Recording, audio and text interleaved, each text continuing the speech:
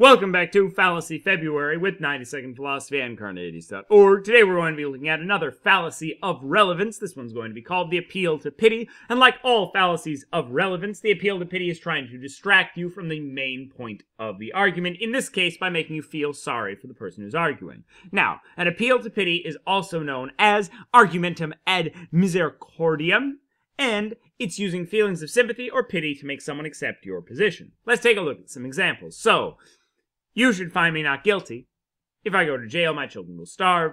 Therefore, you should find me not guilty. This argument isn't telling us anything about the person's guilt. It's just telling us that some bad things will happen if the person ends up going to jail. However, if our job is to find the truth of whether or not they are guilty, such facts have no bearing on the case. You should hire me. If I don't, I may get kicked out of my house and become homeless. Therefore, you should hire me.